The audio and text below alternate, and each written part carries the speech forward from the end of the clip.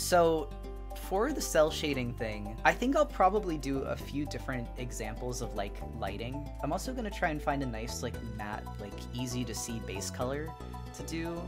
Yeah, that might work best because part of this demo is I'm gonna show cell shading as it is like when you're trying to do a piece and how to think of the structure of shadow and light. So here's what I'm gonna tell you guys. When you're doing cell shading, you want to think of the object that you're shading in terms of three dimension. Importantly too, you also want to uh, figure out where your light source is coming from. Since the light source is coming from this side, it's important to think of our character and our shape as like a three-dimensional object, obviously. Honestly, before you even put any of the colors down, you should probably put your shadows down first, and they don't have to be the color of the shadows that you're actually planning to use. Literally do it with whatever is easiest for you to shape. Also, I think a good way to like introduce this is the reason that it's called cell shading is because you are literally drawing color cells, like the things that used to go on top of anime and other animated cartoons on like glass panes. But since we're not doing it in color cells, we're doing it digitally.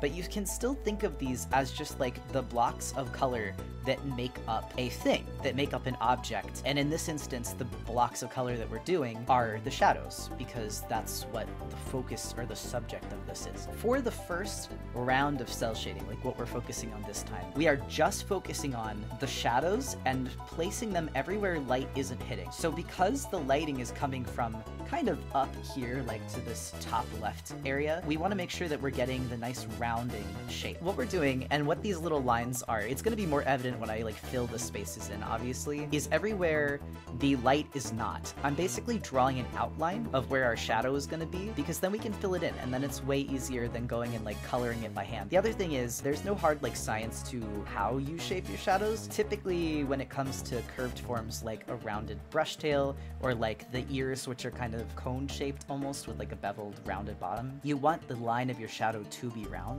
because that's like a way for you to portray the form of the object without just drawing the outline. But you can help portray like depths of these objects with the lines of the cell shading because where your shadows end up is very indicated by the forms themselves. And honestly, because the light's coming from behind the critter, this really would all be shadowed. So when you have your light source, right? Or when you have your shadows cell shaded in, what this is, is all of the area that the light is not. That's what you want to think of your shadows as. In contrast to that, your level 2 cell shading, or the secondary light source, is going to be everywhere light either bounces off another surface, which is usually opposite of where your light source is. Because if you think about it, if light's coming down from this direction, all of this ground surface area is going to be bouncing light up at the character, especially if it's like a hardwood floor or water is in front of the character. All of these create different kinds of secondary light. But let's just say Critter is sitting outside with some leaves and they're nice like orange wet leaves. Those are going to reflect some light. It's not going to be super harsh, but it is going to be there. So what that is going to be shown in is the secondary light source, which is usually coming up from the ground. It's going to be a little bit desaturated compared to the light source coming from up top, but it's still going to be a little brighter than the shadow area. You can also do secondary light sources that aren't bounce light from the ground, but this is just like the easiest, like if you want to have another light source to kind of fill out your figure, if you have like a really big region of shadow, like let's say they're standing up against like a wall and it's a plaster wall because concrete absorbs light pretty solidly because of the texture of it. But let's say it's like a plaster wall, like there's some shine to it, that would bounce light onto the character too. The color and texture of the surface matters a lot on how bounce light will look.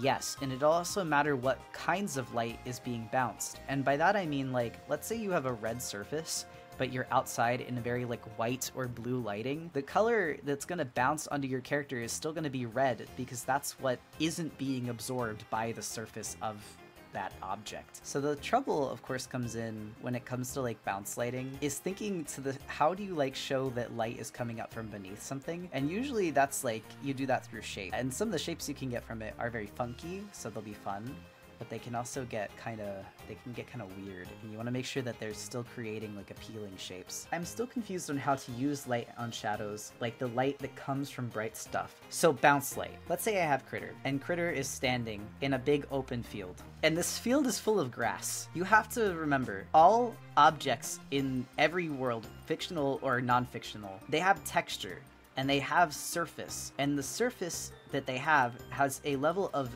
reflectiveness because the reflectiveness is like determining how much light is the object absorbing and how much is it reflecting and pushing away. So think if something very matte or like very soft like a t-shirt, t-shirts do bounce light, but they would not bounce nearly as much light as say something that's like a plastic children's toy because the plastic surface of that toy bounces more light. But, but, and this is a huge thing, like a addendum. The color of the object also determines whether or not it's going to bounce light.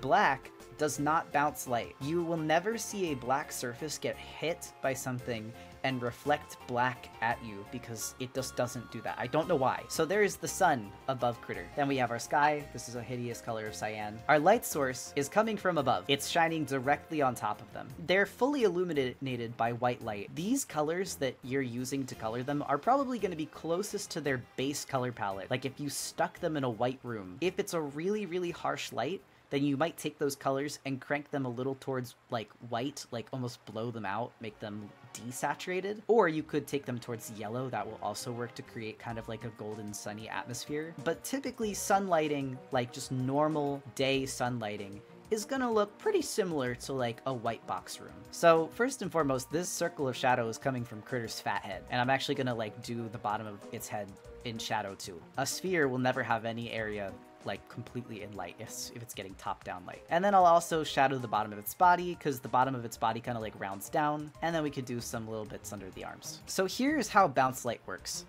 You have the sun coming from above.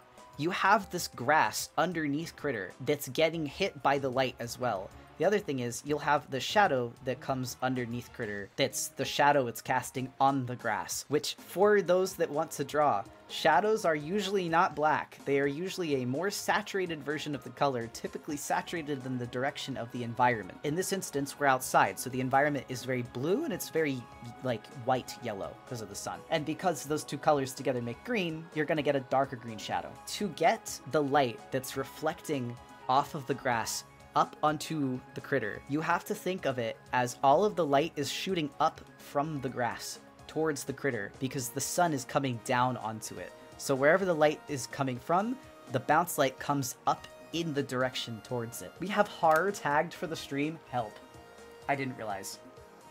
Hold on, let me fix that. Sorry, it's because we were playing a horror game last week. Although tagging this as horror is kind of hilarious, I can't lie. The shadow color is what I'm personally struggling with in my own art. Would you mind going over that more slowly in a minute? The shadow color is honestly, that might be an entirely different stream, I'll be so frank, because that is color theory. That is not... This is just about the shape of the shadow and where you put light and shadow, but color and like shading colors is color theory, unfortunately. So as I was saying though, Oh wow, I actually just picked like a perfect color for it.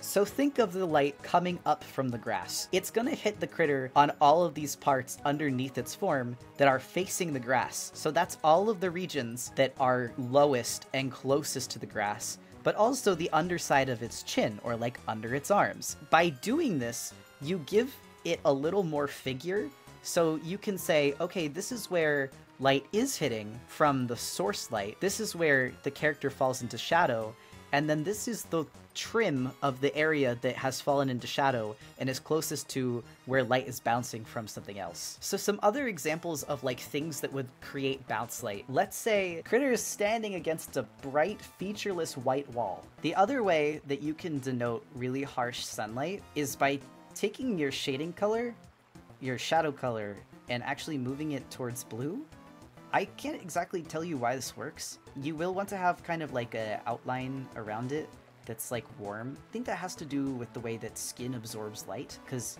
your body would never just have a fully blue shadow. Uh, that means you'd probably be dead. Blue shadows, for whatever reason, help connotate like a kind of harsh sunlight time of day, Probably because the blue is borrowing from the atmosphere, like the sky around it. The other thing is it won't be everywhere. I'm not fully sure why it's some places but not others. The reason that I did this was to show you the bounce light from this wall, because this is a large surface area that's reflecting light because it's also getting hit by the sunlight, right? And the character is standing right up close to it. So what you would do is you would take the shadow color, so this blue, you're gonna move the color dial, so take this blue, and move it closer to like that yellow kind of sunshine color, and then take the hue, the saturation of the color, and move it towards white. But make sure you keep a little bit of gray in there, because it's not going to be a perfectly bright light, because it is a reflection. But this might take some toggling to get a color that you like, because I think this is where I want to be with it. This light here that you're drawing, this is the reflection of the wall, and the light that is coming from the wall that's being reflected. So it's just going to hit the sides of the character that are facing the light. There are some places that you can add an additional thing, like additional highlights. And so I guess this would kind of be, I'm going to make this darker just so it's easier to see, level 3. And I don't always include level 3 because sometimes there's just not a lot of places that you need it but this is your highlights. And what I mean by that is there any points of really, really harsh light on your character? I don't use a lot of highlights because technically I think that this like white or like lighter area constitutes as a highlight for me, but there are still going to be some regions that get like a little more light just because of whatever material they're made out of or like where they are in relation to the light source. For example, the tails of this character are always covered in like ink or paint, so there would be a like kind of harsher light source here because this is a wet texture. Like this is a wet area of the character. And as gross as that sounds, it's like a good way to show that the texture of the surfaces is a little different. The other place that you're gonna get a highlight is in the eye here because eyes are wet, unfortunately. Thinking about that is a little gross, but it is a good way to show that this eye texture is different than like the fur texture, say. It'll mess up the values if you keep doing rings of highlight shadow.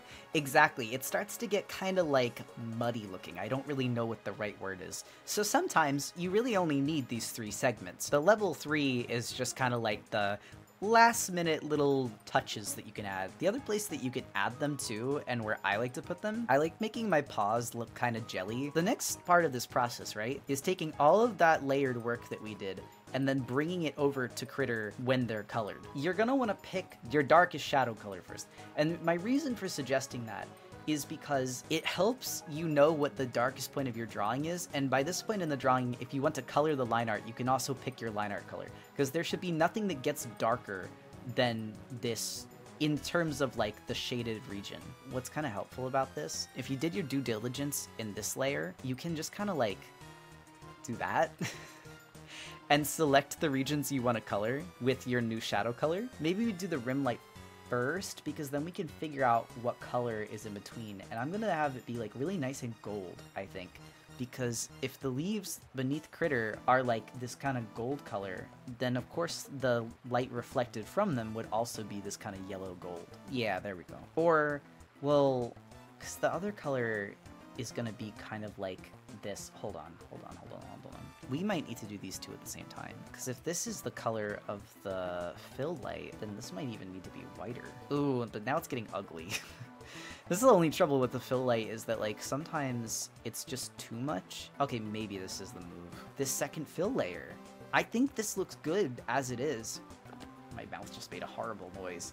And if it were to get if there were to be any more rings of color added, it just would be too much. When it comes to my shading, I color the line art in certain places. Sometimes I do a full line art recolor so it's not just pure black, but with this, because there's so many shades, I actually think that having it be black keeps a level of contrast for the outlined areas that I want it to keep. But the areas that I do color the line art of is anywhere where there's like a lot of overlap of a similar color or texture. So for example, the character's toes are really close together, so they're gonna get their line arts colored because they're basically like a merged entity. There is separation between the toes, obviously, but like they're so close together that like you want to see them as all one unanimous object that makes up the foot. It helps things look more harmonious. Like it helps them look like actually attached to each other. And the other thing is it kind of gives the illusion of like flesh, which sounds gross, but walk with me. Because like when we were talking about subsurface scattering, there's no like perfect harsh shadow. You could think of line art as the same way. If line art is in a way a shadow or an outline for something, you have to stop thinking of it as being purely black or like a purely dark color because it's encapsulating things like skin and fur and other warm like warm-blooded segments of the body and that should really be it for the critter